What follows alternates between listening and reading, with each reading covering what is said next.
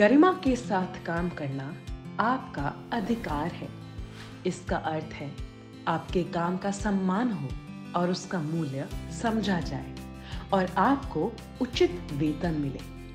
इसका अर्थ यह भी है कि काम करते हुए आपको सुरक्षित रहने का अधिकार है। घर में, उस घर के बिल्डिंग की अहाते में, अपने मालिकों के साथ कहीं जाते समय अपने मालिकों के लिए किसी काम से जाते समय, अपने मालिकों के किसी दूसरे पारिवारिक घर में याद रखें।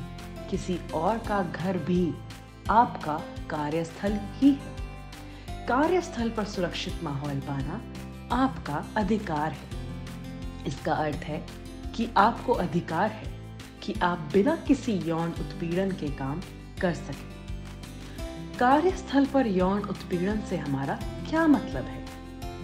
किसी को अनुमति नहीं है कि वह आपको अपमानजनक नाम से बुलाए, आपको गंदे चुटकुले सुनाए, आपके आसपास अश्लील गाने गाए, अश्लील बातें करे, आपके बारे में अश्लील अफवाहें या दुर्भावनापूर्ण बातें फैलाए।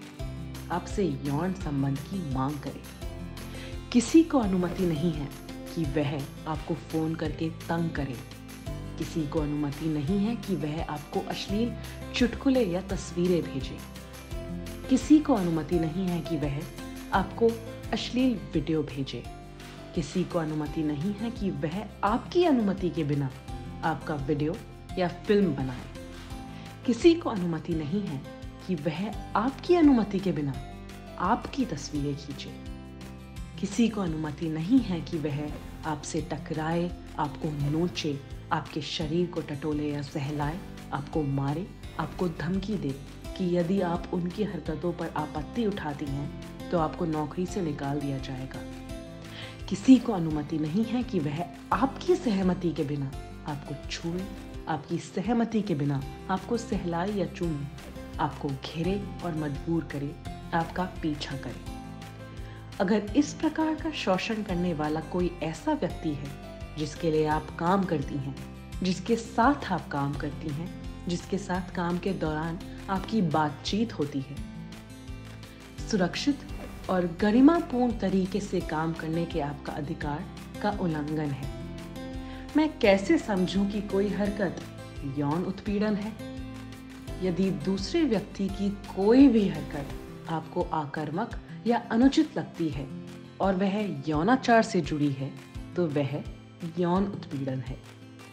यदि किसी के व्यवहार से आपको डर, अपमान, लज्जा या शर्म महसूस होती है तो वह यौन उत्पीड़न है।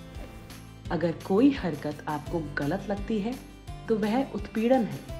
दूसरे व्यक्ति ने ऐसा जानबूझकर करा या नहीं, इससे कोई अंतर नहीं पड़ता। मुख्य बात यह है कि आपका अधिकार है कि आप सुरक्षित रहते हुए काम करें।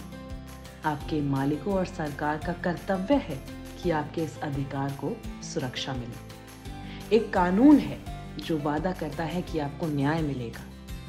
महिलाओं का कार्यस्थल पर लैंगिक उत्पीड़न, निवारण, प्रतिषेध और प्रतितोष, अधिनियम 2013 यूनियन, एनजीओ और स्वयं सहायता समूह आपका साथ देने, आपकी मदद करने और आपको सहारा देने के लिए है। याद रखें, आप अकेले नहीं हैं।